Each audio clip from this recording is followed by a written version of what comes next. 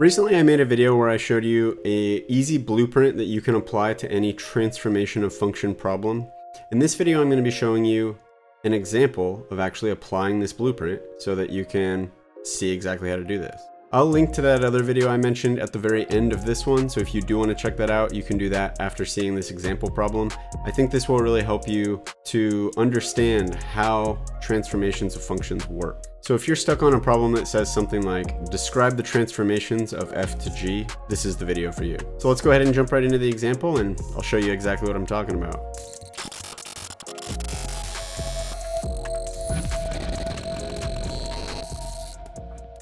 Describe the sequence of transformations from f to g.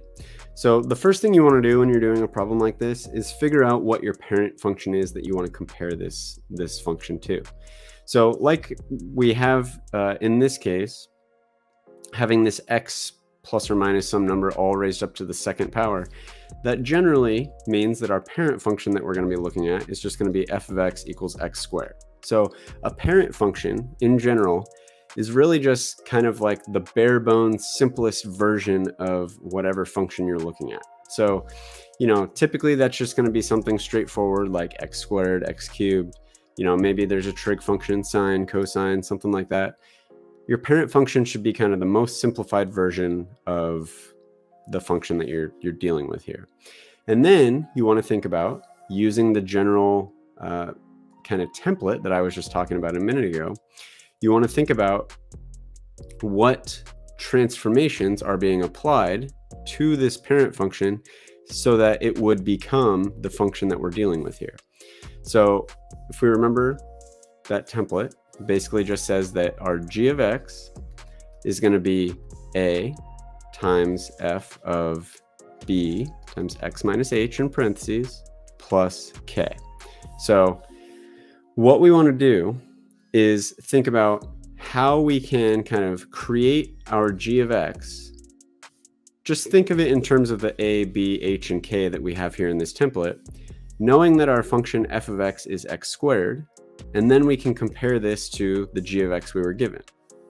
So think about what g of x would be if we know f of x is x squared, and we're trying to find a of f of b of x minus h plus k. So basically what this is saying, what this notation is saying, is we're going to have A times whatever this whole thing is plus K. Okay, so what we need to figure out then is what is f of b of x minus h. Well, what is this notation saying? This notation says whenever you have f of anything, f of question mark, whatever the thing is that's in here, whatever this inside your parentheses is, in this case, it's b times x minus h, but it doesn't matter what it is. Whatever the thing inside your parentheses here, when you have f of something is, all that's saying is go to your function f of x, wherever you see an x in your function, so in this case, we only have a single x in it, which is right here, you're just going to replace that x with whatever is in the parentheses here. So in this case, we're going to go to our function f of x. We're going to replace this one x with whatever is in the parentheses here. So in this case, what is in the parentheses is b times x minus h.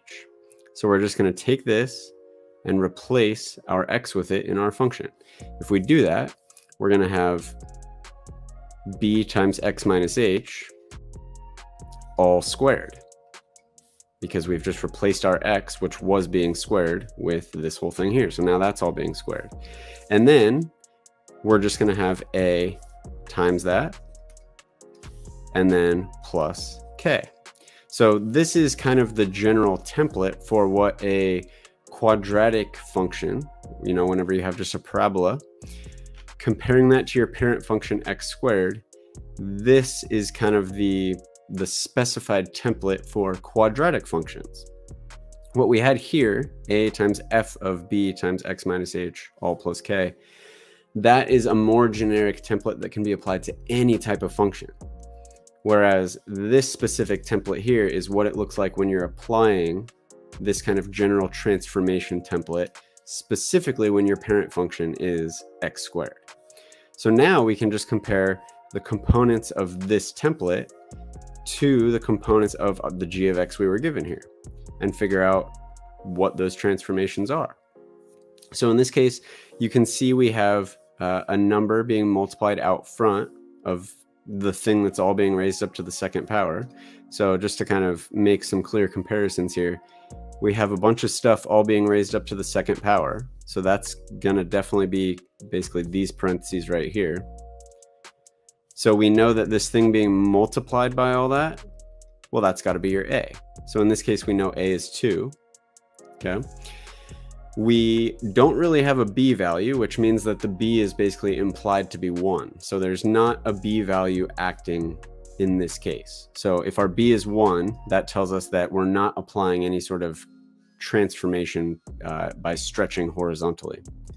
Okay. Then the thing we have x plus or minus some number, we have basically x minus 7. That tells us that our, our minus h is minus 7. So our h must be 7. Okay. And then we don't have any number being added or subtracted out here. So basically our k is a 0. So basically our b and our k are not really applying any sort of transformations here. We don't really have to worry about those.